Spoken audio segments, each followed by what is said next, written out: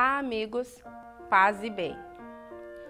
Chegamos na última semana do mês franciscano e por isso queremos refletir hoje mais um fato significativo na vida de São Francisco de Assis, a fim de retirarmos dele um exemplo motivador para a nossa vida. Conta a história que, certa vez, Francisco foi visitar uma pequena cidade da Itália, chamada Gubbio. Assim que chegou, Francisco soube que os moradores enfrentavam problemas com um lobo selvagem que estava a atacar diversos animais das criações locais e também até as próprias pessoas. Apavorados, ninguém se atrevia a passar os muros da cidade.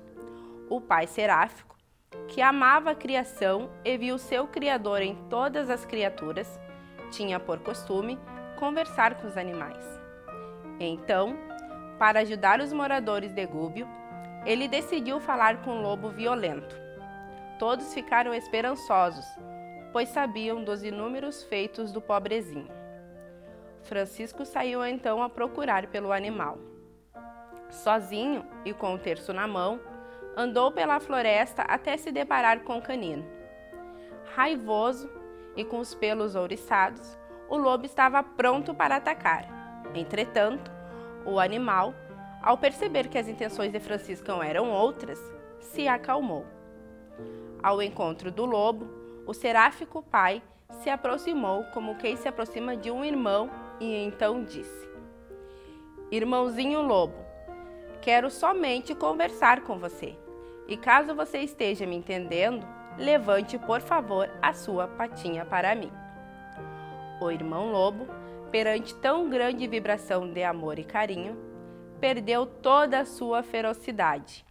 Assim, levantou confiante a pata da frente e calmamente a pôs na mão aberta de Francisco, que novamente lhe dirigiu a palavra com toda a sua graça. Querido irmão Lobo, vou fazer um trato com você. De hoje em diante, vou cuidar de você. A cidade vai lhe dar comida, já que por culpa das pessoas, a floresta não lhe oferece mais o alimento necessário. Você vai poder entrar em minha casa e vou lhe dar comida. Assim, seremos sempre amigos. Você, por sua vez, também será amigo de todas as pessoas desta cidade, pois de agora em diante terá acolhimento, comida e carinho. Desta forma, não precisará mais matar ou agredir alguém para sobreviver com a promessa de nunca mais lesar nem homem nem animal, foi o lobo com Francisco até a cidade. Os moradores abandonaram a sua raiva e passaram a chamá-lo de irmão lobo.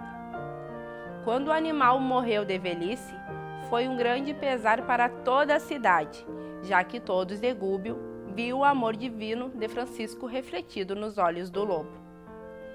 Cada vez que ele ia até a porta da cidade buscar o seu alimento, era como se os moradores vissem Francisco chegando para oferecer amor e compreensão a todos os homens e mulheres.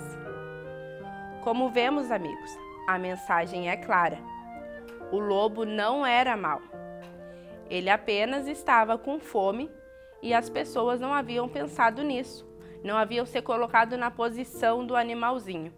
O que Francisco faz é um gesto simples, mas transformador. Ele vai ao encontro do lobo, se importa com ele e o compreende.